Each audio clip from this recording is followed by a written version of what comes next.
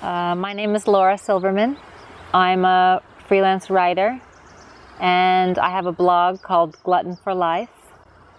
It's something I started when I left New York City to live full time in the country in Sullivan County.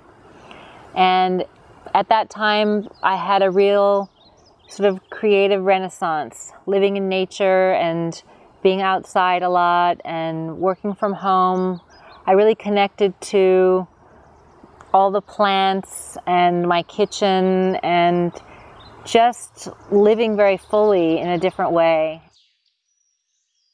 I'm inspired by so many different kinds of people from so many different walks of life. I mean, I'm inspired by, you know, the dancer Trisha Brown and her creative practice. I'm inspired by Alice Waters. I'm inspired by, you know, my readers who tell me what they're interested in and their own struggles and desires. Strange because I never started out to have that kind of blog that's sort of like a diary or a confessional. Uh, mine was is intended to be much more sort of entertaining and informative, but people really respond to very personal musings and I think there's a kind of connection that people are looking for online uh, where they want to get behind the veneer a little bit, if you will.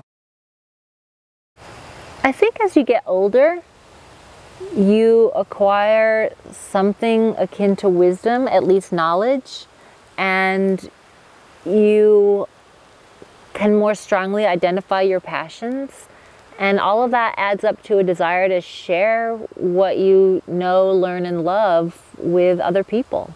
And to that way learn more through other people. Um, it just kind of feeds your passion and your knowledge and keeps you curious about the world. Does that make sense?